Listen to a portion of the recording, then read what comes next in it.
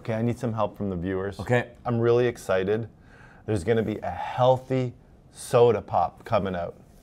And I need the viewers to tell me, is this a healthy thing or is it a marketing thing? I'm Dr. Paul Zalzal. Dr. Brad Weening, welcome to Talking with Docs. We are talking about Pepsi Prebiotic Cola. Finally, something I can drink, enjoy, and is good for me. First innovation by Pepsi, they say in 20 years. Yes. 20 years. Prebiotic Cola sounds interesting.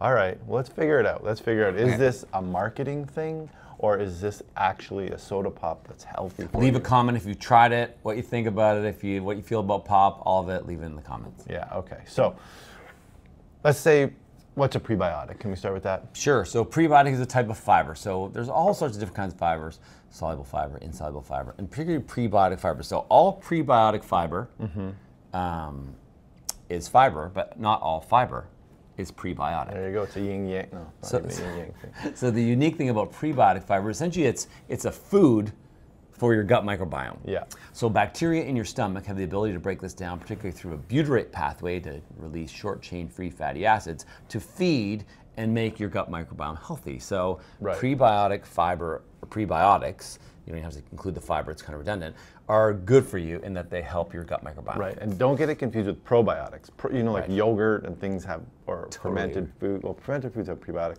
but like yogurt, for example, has probiotics in it. Probiotics are actually those bacteria that you need in your gut. Right. So this Pepsi, no way, has probiotic in it because the probiotic would not survive in the Pepsi environment.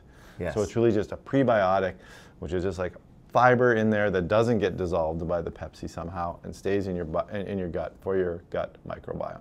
Yeah, and this includes things like inulin, fructo, um, oligosaccharides, galacto oligosaccharides, and resistant starches. Kind of that potato that you cook, put in the fridge, and then eat it the next day, and it spikes your sugar less. These all have that Right. prebiotic fiber. And inulin, natural sources. So say you're like, even before the end of the video, we're like, well, where, where does it come from? Well, things like garlic, onions, um, asparagus, and bananas. You know, everyone says, oh, don't eat bananas; they're not good for you. Which I always thought that doesn't make any sense. I love me. bananas. I know. I I love had, one, I had one like 20 minutes ago. I have one in my bag for today. Really? There Yeah, uh, as well as those overnight starches. Okay, so this new Pepsi Yep. is uh, being marketed now. Okay. I don't know if it's out yet. It might be out when this video is released. It might not. Yeah. Um, but the idea is PepsiCo is trying to be healthier or make it look like they're trying to be healthier by putting this prebiotic in it. They've also reduced drastically the amount of sugar compared Okay. to a regular. How many calories in this drink? It's like 30, I think. 30 calories Right. compared to what's a regular can, like 180 or 130 or something like that. Yeah.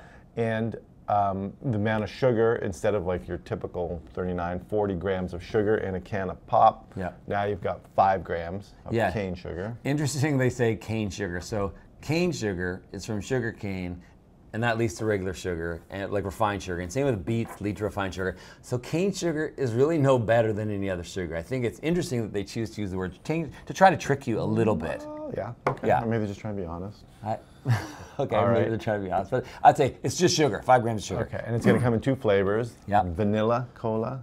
Uh, yeah, cherry vanilla and regular. Right. Cherry vanilla and regular cola flavor.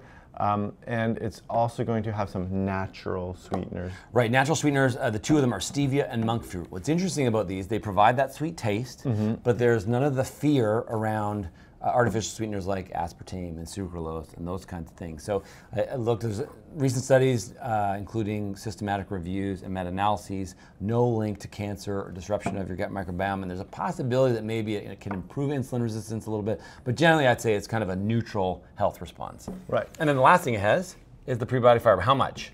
You've got three grams Whoa. of inulin in there. Three three grams? Three that's grams. A, Not much. that's not a lot. It's not a lot at all. So your daily requirements for fiber, we've talked about this in other videos, to help reduce your hemorrhoids and things like that, 25 to 40.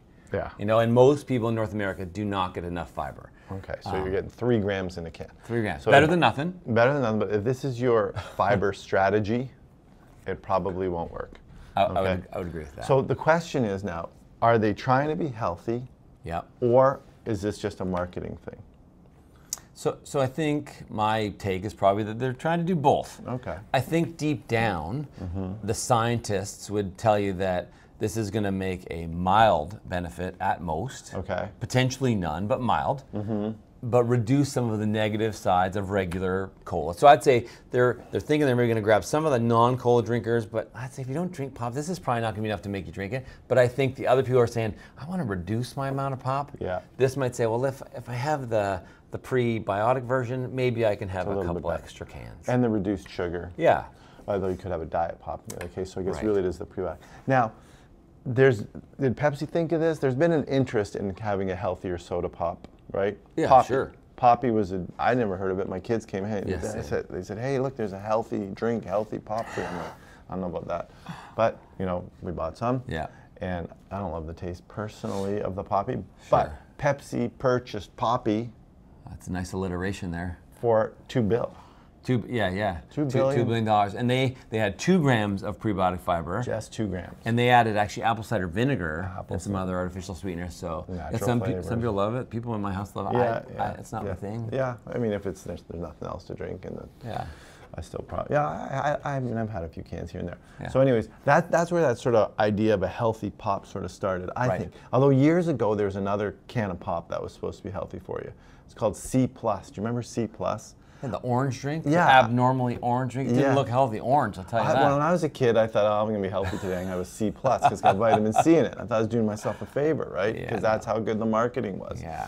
Uh, but so since then, there's never really been a healthy can of pop. No, but what I would say is the, the beverage industry is is ginormous. Oh, my God, yeah. And, and they're always changing. Like look, even like alcoholic beverages to do non-alcoholic drinks, Mm-hmm. or all the different kinds of water. You know, whether it's smart water or vitamin Yeah. water, whatever. Sure. And then plus the push of, of sodas to try to be more healthy. So there Yeah. is there is a push to try to find something healthy that you can drink. FYI, Poppy is being sued, I think, Oh. for making those false health claims. Like saying that it had too much fiber, like not, Not enough fiber. saying. No, not enough fiber to move the needle on the gut microbiome. Like it's just not really doing anything.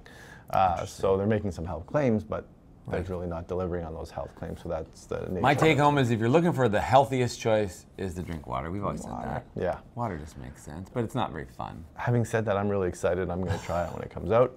I, when it comes out, I'm really going to read the label closely and see Yeah. what's in there. And but I think the take-home message is, yeah, this is not a healthy option. Nope. It may be less bad for you than other I'd agree with that cans of pop that are out there, or soda pops that are out there. But really, it's not. It's not going to be something that you're going to try and purposefully include in your diet for health reasons. There you go. That's our hot take. Hey, Brad. Do you know how many subscribers we have on YouTube now? One million. That's right. That's why we're wearing these glasses. If you're a subscriber, thank you very much. If you're not, help us to get to a million and one. Thanks to my brother-in-law Ben who made these glasses for us. Oh no way. Yep, on his 3D printer. And if you know where we just stole that script from and the idea to wear these glasses, leave a comment. There's a very common clip you see on YouTube.